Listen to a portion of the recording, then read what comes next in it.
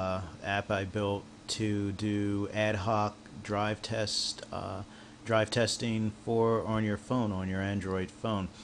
Um, the main screen, this screen shows uh, network, phone, uh, location, and Wi-Fi data.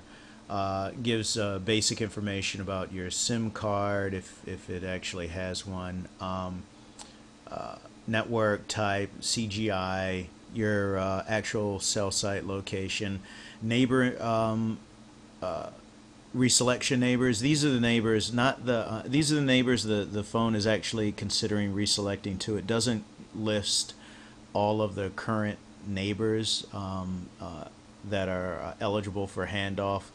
Um, simply the neighbors that is thinking about handing off to. You'll see that um, pop up whenever it's deciding whether or not to, to go. It'll tell you whether you're roaming internationally or um, roaming at all. Um, let's see. Start out um, at the bottom of the screen. You've got live data and recorded data. Um, live data sh- will show you a map of uh, where you are, also with um, important header information like uh, your uh, signal strength, bit error rate, speed heading, um, the the actual uh, LAC and CI um, technology you're on, and uh, some some navigation information right there. Um, let's go back. Uh, under preferences, which is where you'll be setting a lot of uh, uh, the the app up when you first get it. Uh, you'll have uh, you can toggle 2G, 3G. This doesn't take you um, directly to the 2G, 3G. You'll have to scroll down to the mobile networks screen and then check off uh, that box. I haven't figured out how to go directly in there yet. Um, you can set the sound vibration for handoffs. Uh, serving cell. If you're getting bad um, uh, serving cell location information, which is uh, entirely likely um, because the, the the phone doesn't actually the phone uses an unsupported Google location service um, to find the the cell site that you're on. Um, that's here. You got a Google um, location services open cells uh, uh, ID, which is isn't that extensive. The Google site is it's got a lot of good 2G stuff, but not very extensive 3G information. Um, and it's all kind of iffy. Uh, because of that, I added a, a way of uploading, um, and you'll see, you have to read this in the instructions. A way of uploading the um, an actual uh, uh, list of um, cell site information on a um, CS in a .csv file. Um, come on. Uh, let's see what else? You you have um, you, so if it doesn't have if it's if it's showing um, erroneous cell site information you just have to turn that off.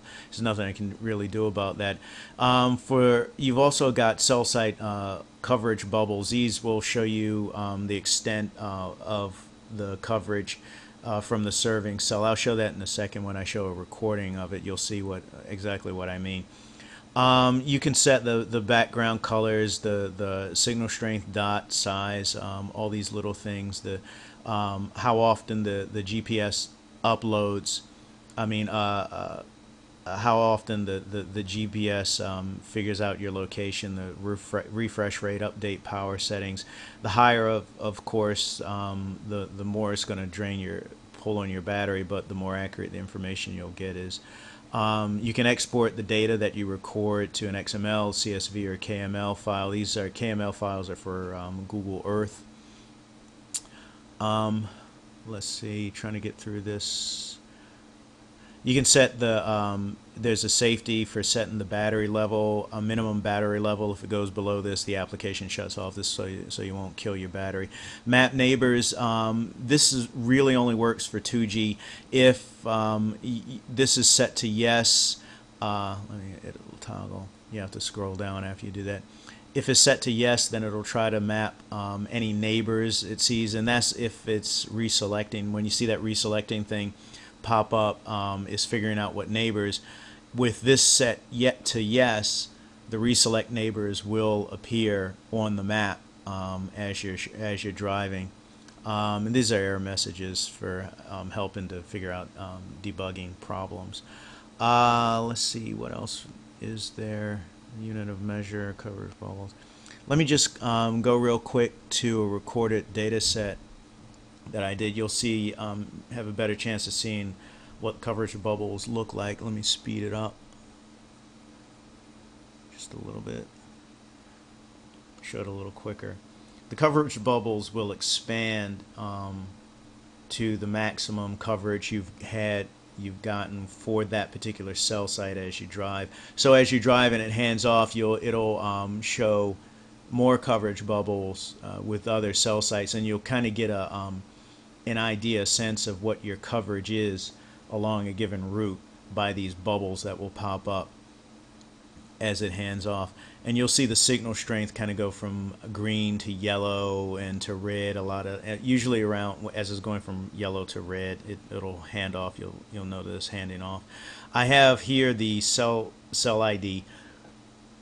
Sometimes you'll have um, uh, uh, multiple numbers there. Those are actually the, the the different sectors on your cell as it goes. I think it's about to hand off real quick. Yeah, there it goes. Uh, and you kind of see what I mean there uh, as the um, colors change.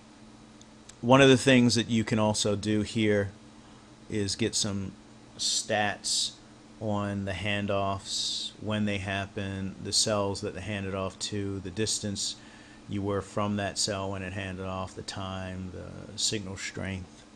Um, the one of the things that you um, you'll see also on the bit error uh, bit error rate right under the RSSI.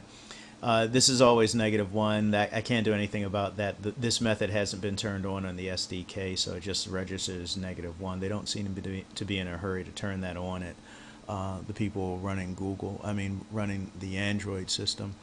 Uh, let's see. Uh, another thing. This is where you would load up your custom um, uh, site location data. This would have to be in a, a, CSV file, a simple text file. You would load it onto your SD card. Um, click this and you'll see a list of uh, files that you can load up. I've already done this um, earlier. And um, it has to be in a certain particular format. I explained that in, in the instructions and on the website, the website for the app as well. Uh, it will take if it's if it has a, um, this had a few about 2,000 sites um, in the Seattle area, maybe uh, more. It might take a few minutes to actually load it up. So you want to plug it, plug the phone in, and just wait. Um, it, it, it hasn't frozen. It just takes a long time to load up some of these sites for if it's in the thousands. Um, and of course, you can um, you can save your um, tracks by hitting this or, or export them. Or can where's you? Save yeah. Yeah this is where you would save them to uh, the different format export formats. Uh, and yeah and it, and it, automatically names. You can change the name of course as you go uh, and this is a quick way of just um, exporting the the files also. And let me see uh, there's a big picture feature. This is a little tricky because um, if you do a lot of recording uh, if you recorded a long track it has to paint a lot of images on the map. So it, it can maybe it I'm just warning you it might actually crash if you try to um, display too much at once but here you kind of get a good idea of what the coverage bubbles look like and your track as you drive, um, the the signal strength track as you drive, and the the coverage of the the sites as you drive. Um, this this app is a work in progress. There's a um, there I know there are a lot of bugs here and there, um, and I work on them and try to fix them as I can. It's a, it's a fairly complex app, um, doing a lot of different things at, at, at one time. So. Uh, if you run across an error, just email me at type1apps dot uh, at uh, gmail.com and I'll try to um, fix them or send them in if it if it um, if it you get a forced close or something like that you can automatically uh, report them that way and I'll see them on the uh, application site so um, hope that helps and um, enjoy the app. Thank you